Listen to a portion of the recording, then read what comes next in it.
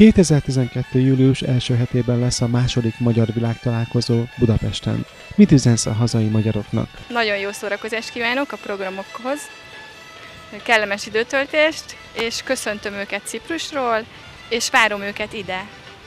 Sok szeretettel köszöntjük a Magyarok Világtalálkozójára érkezett kedves vendégeket, valamint azokat is, akik az interneten keresztül követik a világtalálkozó eseményeit. Kívánok mindenkinek erőt, egészséget! Szeretettel szeretném üdvözölni a, a második magyar, magyar világtalálkozó résztvevőit, valamint az összes magyarországi rokonomat, barátaimat és családtagomat. Azt gondolom, hogy Ciprus egy csodálatos helyszín, és, és minden magyarnak csak jó szívvel tudom ajánlani. A magyar az mindig maradjon magyar akárhol is van a világban.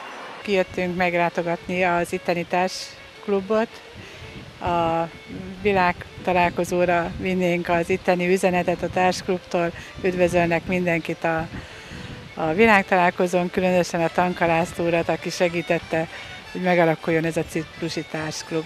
Jól érezzék magukat, eh, élvezzék azokat a lehetőségeket, amit ez a rendezvény nyújt, Azoknak, akik esetleg Ciprusról mentek oda, azt kérem, hogy nagyon jól nézzenek körül, és utána hozzák vissza Magyarország jó hírét Ciprusra, és azt remélem, hogy ez a világtalálkozó erősíteni fogja a magyar-ciprusi kapcsolatokat. Jöjjenek Ciprusra, nézzék meg milyen szép a második választott hazánk, nagyon jól érezzük itt magunkat jöjjenek és, és látogassanak ide, minél többen.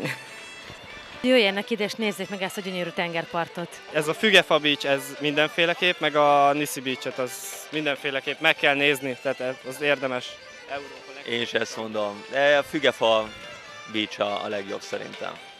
Jöjjenek Ciprusra nyaralni, mivel az apartmanok azok olcsóbbak, mint a hotelek, és nagyon jó apartmanokat is lehet itt találni, és a tenger az itt szerintem a leggyönyörűbb egész Európában.